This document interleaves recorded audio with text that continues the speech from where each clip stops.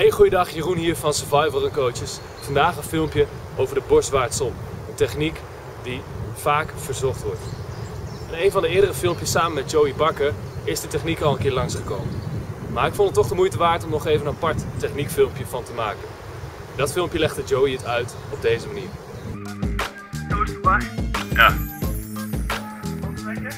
Ja. Joey zegt dus toast to bar en dan optrekken. Op zich een hele goede tip. Alleen ik kan het niet op die manier. Want ik ben niet zo sterk in verhouding met mijn gewicht.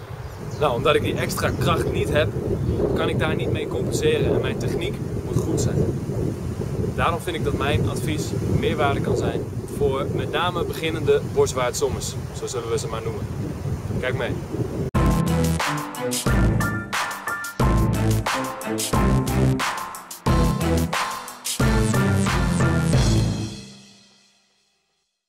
Nou, wanneer zou je een borstwaartsom gebruiken? Borstwaartsom is een techniek om een swingover te nemen. En met name lage swingovers zijn op deze manier efficiënt te nemen. Veel mensen gebruiken de borstwaartsom ook voor een hoge swingover. Dan zetten ze één voetklem in het touw en zodra ze bij het boventouw kunnen, maken ze een borstwaartsom. Nou, dit kost mij nog te veel kracht, dus het heeft geen meerwaarde voor mij om dat te doen tijdens een wedstrijd nu. Maar ik ben er wel op aan het oefenen. Want zodra je dat efficiënt kan, dan heeft dat zeker een meerwaarde. Nou, mijn doel is om te blijven oefenen op de borstwaartsom en uiteindelijk in de wedstrijd dit te kunnen gebruiken en zo sneller te kunnen zijn dan mijn concurrenten. Vanwege mijn lengte kan ik namelijk eerder naar een hoge balk toespringen dan dat zij dat kunnen. En als ik daar een borstwaartsom kan maken, dan kan ik erg veel tijd pakken. Denk aan een hoge balk zoals deze.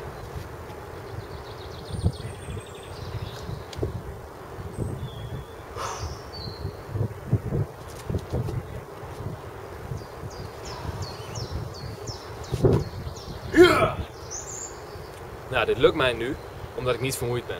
Tijdens een wedstrijd lukt het me nog niet, maar ik blijf oefenen. Nou, hoe doe je de techniek? Begin bij een lage stang of touw.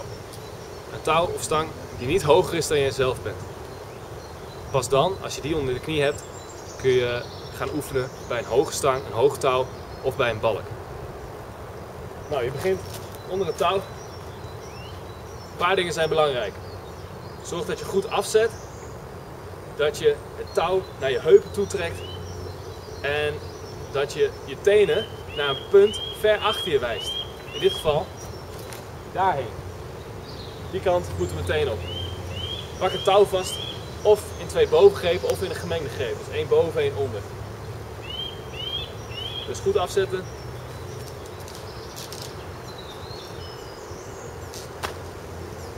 Dat is hem. Nou, als dat lukt, ga je dus oefenen op een hoge touw of op een balk.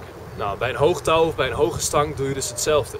Wat belangrijk is, is om gebruik te maken van het momentum van je sprong om de draai te maken. Let op.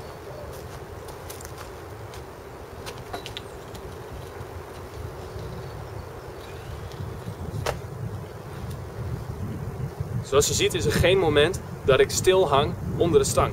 Anders moet ik veel te veel kracht gebruiken om mezelf omhoog te halen. Bij een touw kun je er ook naartoe springen, maar dan is het misschien iets lastiger omdat het touw wat in kan zakken. Nou, mocht de stang nog hoger zijn, dan probeer ik toch door een klein beetje heen en weer te zwaaien momentum te creëren, zodat het meer minder kracht kost om omhoog te komen. En ik merk dat dit een handige manier is, omdat die volledig vanuit stilhangen mij niet lukt. Het kost me veel te veel kracht. Dus op deze manier lukt hij dan.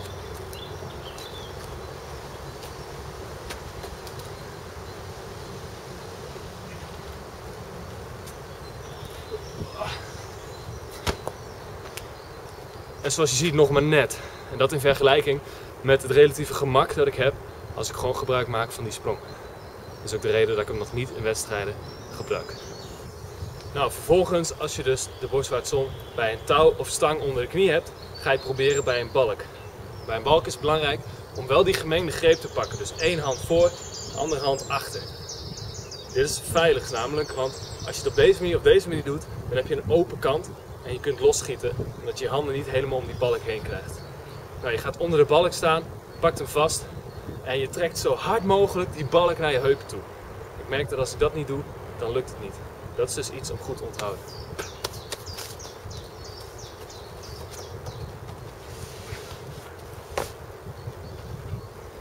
Nou, als die op die hoogte lukt, dan ga je hem dus proberen op een balk die iets hoger is. Zoals deze. En let op mijn sprong, want zonder die sprong lukt het niet.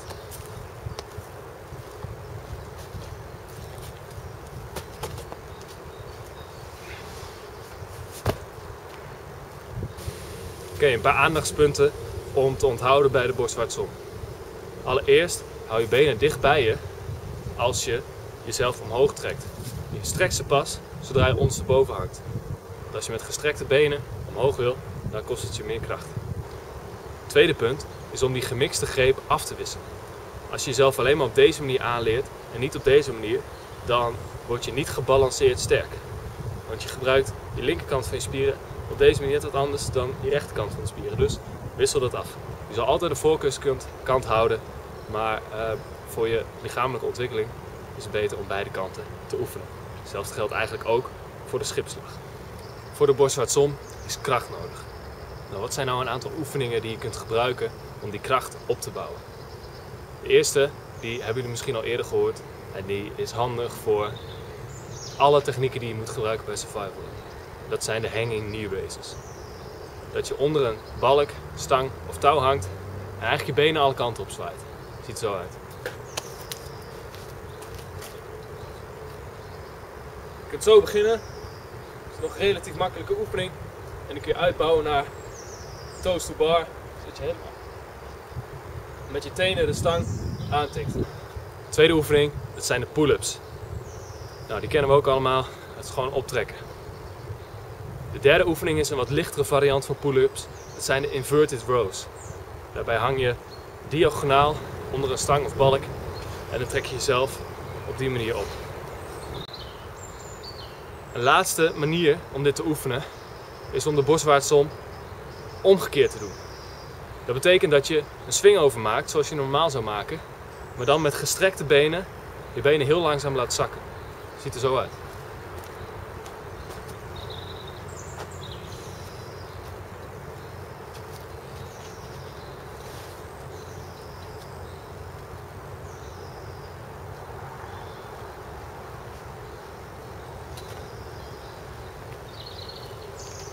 Op die manier train je dezelfde spieren, maar gewoon net even andersom.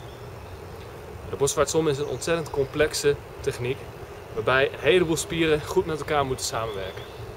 Je lichaam is dat waarschijnlijk nog niet gewend, dus het is een kwestie van oefenen, oefenen, oefenen om die patronen in je lichaam te krijgen.